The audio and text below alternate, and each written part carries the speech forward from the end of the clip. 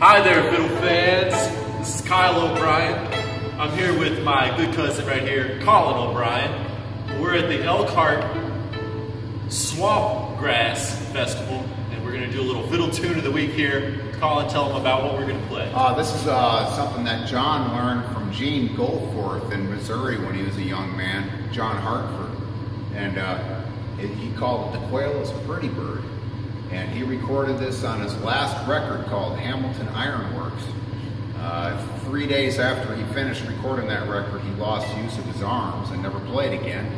And this song, I will do our rendition here, but on, on the recording Hamilton Ironworks, this is really a surging piece of work. And I, I think John at his zenith.